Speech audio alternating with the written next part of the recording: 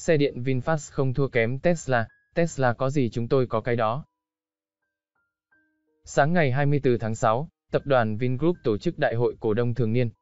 Tại đại hội, một cổ đông đã bày tỏ sự lo lắng về triển vọng của thị trường xe điện, về cả tính cạnh tranh lẫn năng lực sản xuất trong bối cảnh thị trường thiếu hụt chip.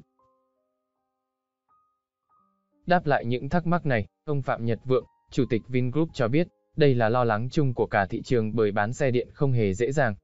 Tuy nhiên, ông Vượng đánh giá đây là cơ hội để Vingroup và Việt Nam thay đổi tầm vóc của mình.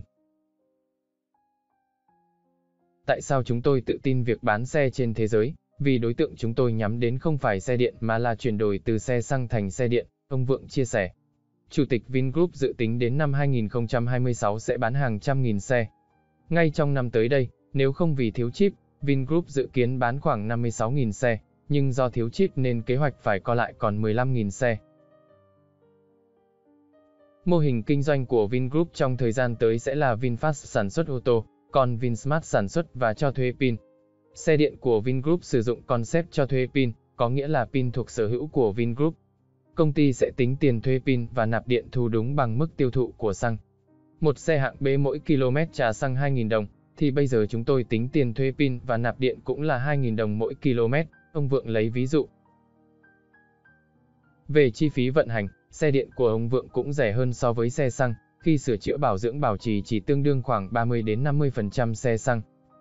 Ngoài ra, điểm cộng của xe điện là thông minh hơn xe xăng rất nhiều, bởi xe xăng không thể tự lái, không có infotainment, nhưng xe điện thì có các tính năng này. Xe điện của Vingroup được thiết kế với tiêu chuẩn cao nhất, thông minh hàng đầu thế giới. Xe điện VinFast không thua kém Tesla, sắp tới, mức độ thông minh sẽ cao cấp hơn, tự lái cấp độ 3 chính thức, chứ không phải tự nhận như một số hãng bây giờ, ông Vượng nói. Ngược lại, ông Vượng thừa nhận xe điện cũng có điểm yếu, là di chuyển quãng đường không quá xa, chỉ khoảng 300 đến 500 km, tùy loại xe. Tuy nhiên, yếu điểm này sẽ được Vingroup khắc phục bằng sạc siêu nhanh, trong khoảng 20 phút sạc khoảng 70 đến 80% pin, chạy thêm ngay được 200-400 km. Mọi chi phí pin, bảo dưỡng đều do Vinsmart chịu trách nhiệm, model kinh doanh của Vinsmart đã được tính toán và thấy khá ổn, ông Vượng khẳng định.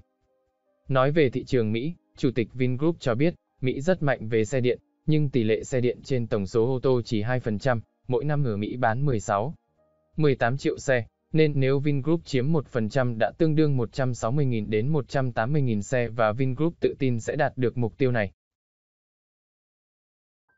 Về vấn đề thiếu chip, ông Vượng cho biết đây là một vấn đề lớn và là vấn đề chung của cả thế giới mà không ai tránh được. Tuy nhiên, Vingroup sẵn sàng đi cạnh tranh, chấp nhận trả phí cao hơn trong ngắn hạn để đạt được mục tiêu phù hợp với kế hoạch của mình.